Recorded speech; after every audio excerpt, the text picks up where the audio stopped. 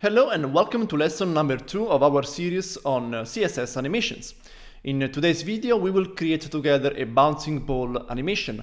Now, uh, this animation is way more um, interesting and complex than you'd imagine, but in particular, it's going to give us the chance to talk about timing functions. Now, believe me when I say that if you really want to master CSS animations, you have to understand and properly use timing functions.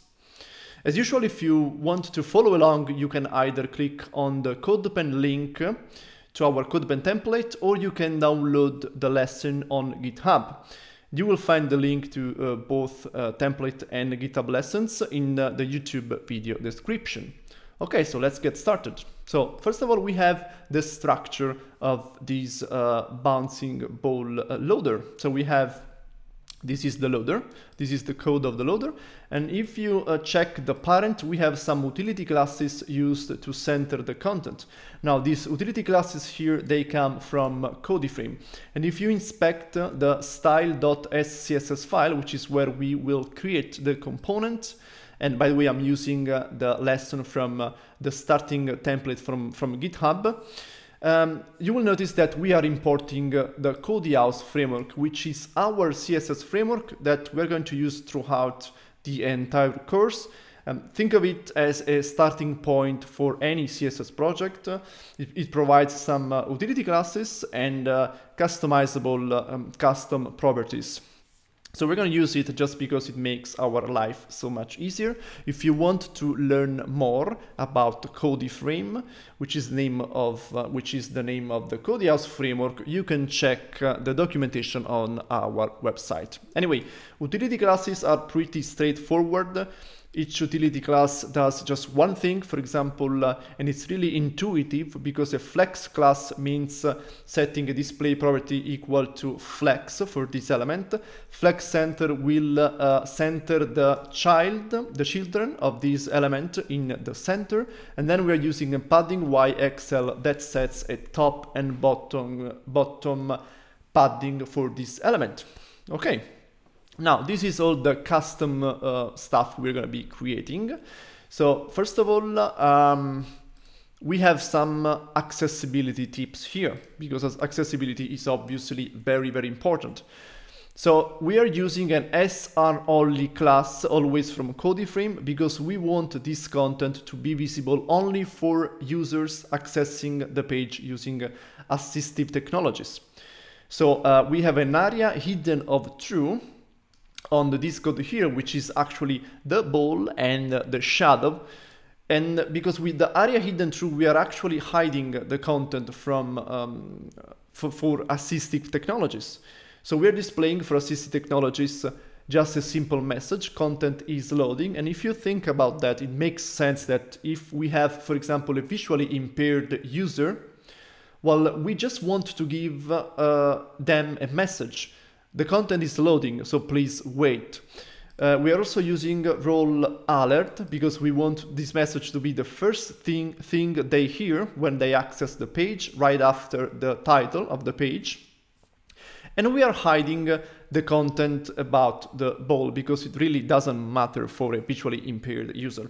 And we are doing the opposite for other users. We are hiding the content is loading message and we are showing the um, loader.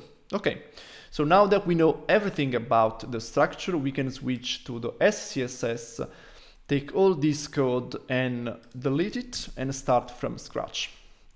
Okay, so let's uh, copy the bouncing loader class here. And uh, first of all, we want to set a width and a height. Uh, now, uh, when uh, we want, when you want to set width and height, and they will have the same size, well, it's a good habit to use a custom property for this, at least that's what I do. So I set, for example, a custom property equal to something, in this case 128 pixels, and then I apply this variable to both the width and the height. Now we want to set a display of inline block uh, we want to set the position relative and now let's finally let's add a background color with a temporary color of light gray just because we want to see uh, where this uh, box is. Okay, right there. So um, now we can move to the ball. We can uh, copy this class here and move forward. Okay, so once again, we want to set width and height for this element as well. And instead as um, instead as writing uh, a, a, plain value here, for example, instead as uh, putting down width and height equal to 60 pixels, we also want a, um, a background color and we're going to use a custom property actually variable from uh, the House framework, which is color primary, which is the primary, the main color, the main action color, and save. Now, uh, by the way, um, um, if you see autocomplete in my, um, while I'm typing, that's because I have installed a, um, an extension. You will find uh, uh, many extensions on our extensions page and probably an extension for your code editor too. So make sure to install it because it's going to make your uh, coding so much faster. And now we want to set a border radius of 50% because we want to turn this um, square into a circle. Now we were saying before, instead of using plain values for width and height, we can actually set this value equal to relative to the sides of the, uh, the main sides of the loader. So for example, if we create a new custom property ball sides equal to, we can set, we can use a calc function and set it equal to the sides of the loader divided by 3 and save. Now we can uh, copy this uh, custom property and use it here for both the width and the height and now you can save. Now, uh, what's the advantage of this approach? If later on you want to change the size of the loader, because well, let's be honest, right now we are building a huge loader because I just want to make sure that you guys can uh, see what we're doing uh, while checking the YouTube video. But in a real project, you are probably gonna use a smaller loader. Uh, with this approach, you can pick any sides you want, and if you change these sides here, for example, let's uh, use, I don't know, let's use 96 pixels and save, the ball is going to uh, be resized together with the loader, so everything is always proportional. So I think this, uh, this is a smart approach anyway. 128 pixels. Okay, actually we can make it even slightly bigger so that it's easier to see what we're doing. Okay, now we want to move this uh, ball and uh, we're gonna give it a, a, position of absolute and top of zero, a left of 50%, and then I'm going to use the transformation translate x of minus 50%. Now this is a trick to center content horizontally. So what we're doing here, we are setting a left value equal to 50% because this element is in position absolute, this absolute, this is 50% the size of the parent in uh, position relative. So this is the center, the very center of the, the main loader. So we are pushing the ball by 50% the size of the main loader. Now, the transformation instead is in relation to the size of the element itself. The element uh, to which we are applying the transformation. So 50% here is equal to 50% of the ball. So it's these sides right here. So we are moving this element by 50% to the left by applying a negative value.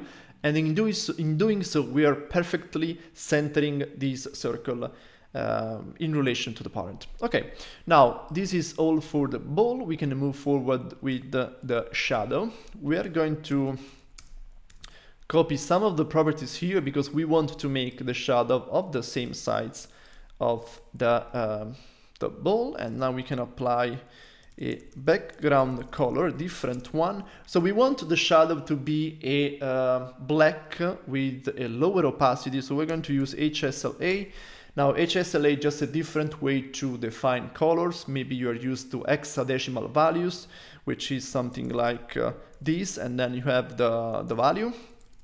HSA, HSLA stands for hue saturation lightness and alpha channel which is the opacity so for black it's 0 0 percent 0 percent and 0 0.2 uh, defining colors using HSL um, is, is really powerful because you can create you can easily create variations of these colors by changing these values here now we also want to move this element with a position absolute and we want to place it this time at the bottom. We want to center it uh, horizontally, so we're going to copy this stuff and paste it here. Now we want to um, the center of this uh, circle here to be right here at the bottom of the main box of the loader. So we're gonna apply, we're going to apply another translate, but this time a translate Y and because we want to move it down, it's going to be a positive value of 50%, because remember, this is 50% the size of the circle.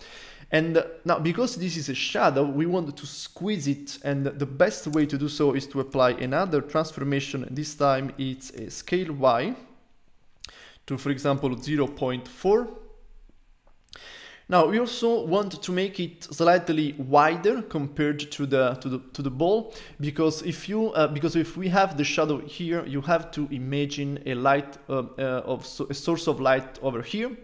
So when the ball gets closer to the source of light, uh, the shadow is going to be slightly wider. So we're going to apply also a scale X of 1.2 and save.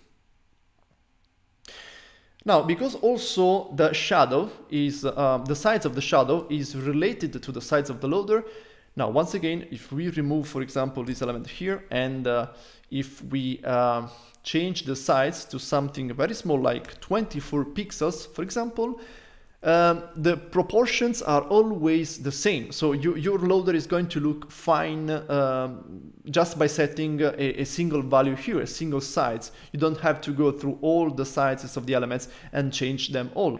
In this case, for example, if you're using this, um, this component in uh, multiple pages and you want to use it with different sizes, by creating a custom property, you can uh, either create a class variation here, for example, uh,